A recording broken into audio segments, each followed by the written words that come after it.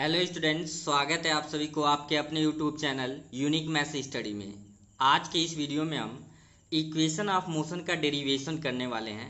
वो वो भी इंटीग्रेशन मेथड से। बहुत सारे बच्चे को कन्फ्यूज़न होता है। मैं पूरी गारंटी देता हूँ, ये वीडियो एंड तक देखेंगे। आपको कोई भी कन्फ्यूज़न नहीं होगा। आसानी से आप डेरिवेशन मेथड से भी इसे हम कैलकुलस मेथड बोलते हैं, जिसे, जिसके अंतर्गत आता है इंटीग्रेशन मेथड ठीक है? तो इंटीग्रेशन मेथड से कैसे होता है प्रूविंग वो देखेंगे। सबसे पहले जान लेते हैं कि इसमें कौन कौन से टर्म यूज़ होते हैं और इक्वेशन ऑफ़ मोशन क्या होता है।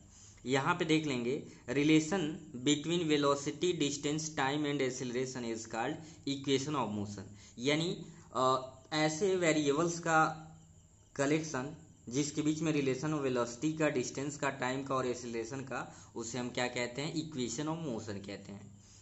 ठीक है? तो इक्वेशन ऑफ़ मोशन क्या होता है? ये यहाँ पे बता दिया गया। इसमें कुछ टर्म यूज़ होते हैं जिसे हम कह ले लेट यू या वी ज़ीरो इनिशियल वेलोसिटी को लर्न कर लेंगे कि वी ज़ीरो या यू से रिप्रेजेंट करते हैं। कई लोग वी ज़ीरो भी बताते हैं और कहीं कहीं यू भी यूज़ होता है। तो अभी मैं इसमें यू ही यूज़ करने वाला हूँ।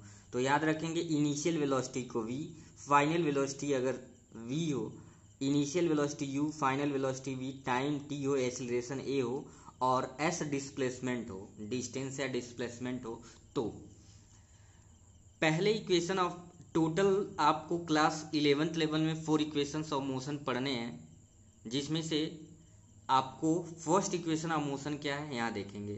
फ़र्स्ट इक्वेशन ऑफ़ मोशन या इसे कहते हैं velocity time equation velocity time equation या फ़र्स्ट इक्वेशन ऑफ़ मोशन कहते हैं। क्या होता है? V बराबर यू प्लस ए टी इसे ही हम डेराइव करने वाले हैं, इसे ही प्रूव करने वाले हैं। किस मेथड से? इंटीग्रेशन मेथड से।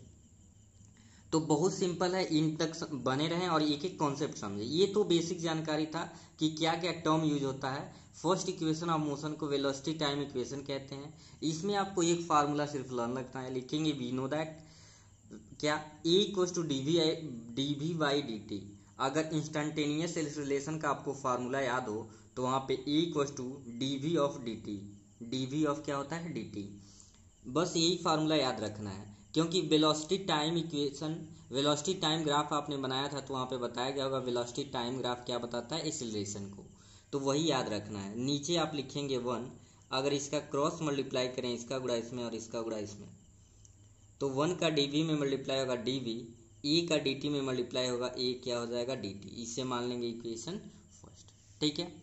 अब लिखेंगे integrating equation first equation first का हम क्या कर दे रहे हैं? इंटीग्रेशन कर दे रहे हैं.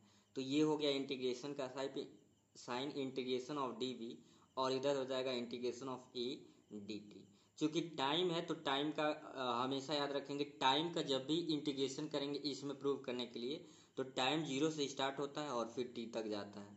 और ये डी वी है वेलोसिटी तो वेलोसिटी यू से लेके कहाँ तक जाता है? वी यही अगर वी ज़ीरो यूज़ करेंगे तब भी कोई दिक्कत नहीं है।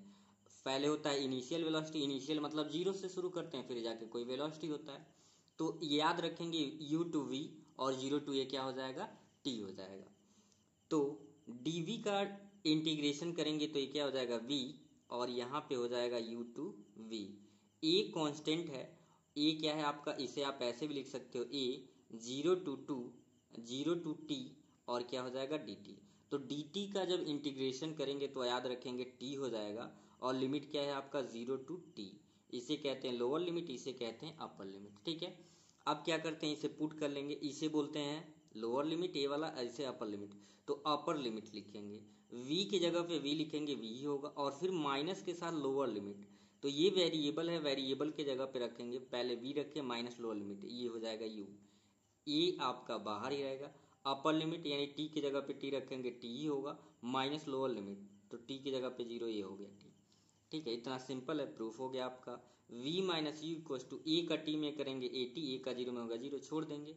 तो this implies v equals to minus इधर जाएगा प्लस यू प्लस क्या हो जाएगा ए टी यही आपका हो गया फ़र्स्ट इक्वेशन ऑफ़ मोशन यदि वीडियो पसंद आए तो लाइक और शेयर ज़रूर करें। और चैनल पे नए तो सब्सक्राइब करें ताकि जैसे ही कोई न्यू वीडियो अपलोड हो, आपको नोटिफिकेशन सबसे पहले मिले।